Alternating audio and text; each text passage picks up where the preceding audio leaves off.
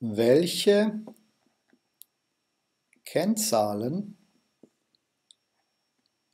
kann man im Absatz Controlling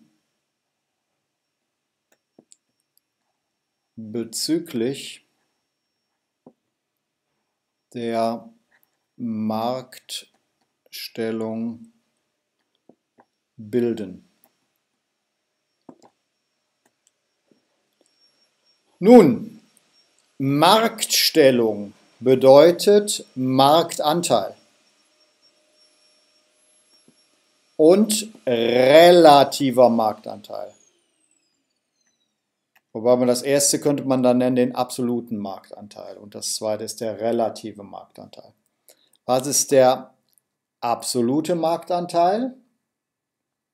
Das ist das Absatzvolumen, das was ein Unternehmen, also unser Unternehmen, absetzt, ins Verhältnis gesetzt zu dem, was alle absetzen. Das nennt man das Marktvolumen.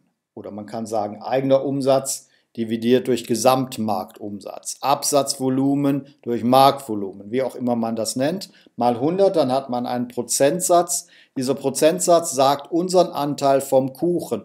Das ist der Kuchen, das sind 100 Prozent. Wenn wir jetzt hier, was weiß ich, 15% errechnen, dann ist das unser Anteil vom Kuchen. Unser Anteil vom Umsatz im Verhältnis zum Gesamtumsatz. Der relative Marktanteil ist der eigene Marktanteil. Ja, wir müssen also erst das hier ausrechnen, um den relativen Marktanteil ausrechnen zu können, durch Marktanteil größter Konkurrent relativ, ja, in Relation zum größten Konkurrenten. Manchmal nimmt man hier auch die drei größten Konkurrenten, das hängt von der Marktstruktur ab. Das ist der relative Marktanteil. Das heißt, das, was man hier als Marktanteil ausgerechnet hat, fließt hier in den Zähler ein für den relativen Marktanteil.